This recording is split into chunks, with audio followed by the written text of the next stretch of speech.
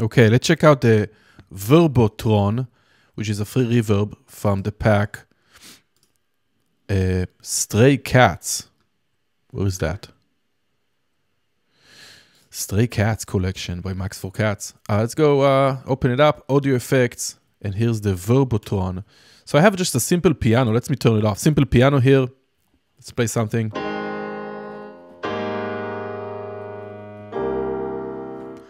Let's turn on the Verbotron.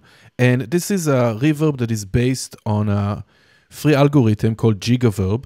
It's classic. And it's capable of doing very, very long reverbs. So first of all, here's the dry wet. Let's bring it up all the way wet so we can hear it. We can even see the animation here. If it's uh, dry, I don't know why. It fills up with white. Nice. so first of all, we have the uh, volume of the early reflection. So let me take the tail down. This is the tail uh, volume and the time. And here is just the early reflection. Let's take it down. Let's play something. Let's bring it up. Right, so we can hear that small space.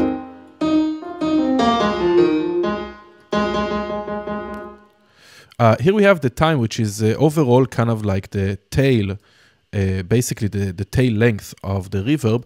And it can go from uh, fairly short to huge. Oh, and uh, the tail right now is all the way down. Let's bring it up. That's the volume of the tail. Whoa, let's turn down the wet gain. Right, can be huge. Nice.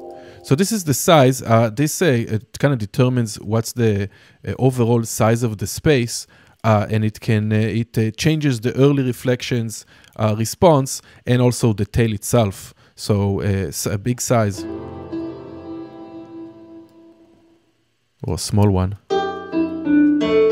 Now we can really hear the resonating frequencies. Let's turn the time down. Bring the size back up. Nice. Uh, the amp will also decide, like, if you bring it up more and more, the reverb will be less and less intense. Uh, so all the way up, we it's gonna cancel out most of the tail.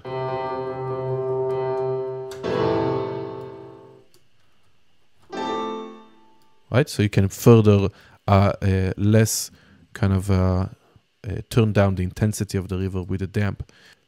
Here we have spread, uh, and spread is just going to turn it into mono when you turn it down, or spread it across the stereo image. Nice. The tail we mentioned is the uh, volume of the tail. And the width is kind of an extra tone control. Uh, it's gonna um, emphasize more high frequencies.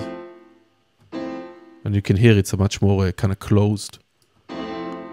Further controlling the tone and the tail.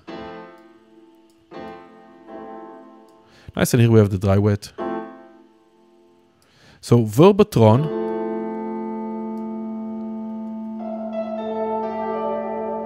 can be a huge, huge reverb. Kind of reminds me of the Audio Damage EOS uh, reverb, if anyone ever used it. But that's the Verbotron. It's free with the Stray Cats collection. Check it out.